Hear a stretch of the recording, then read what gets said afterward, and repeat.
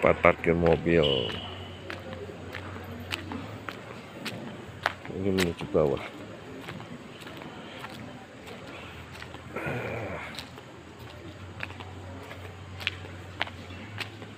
Tempat kebo bule tuh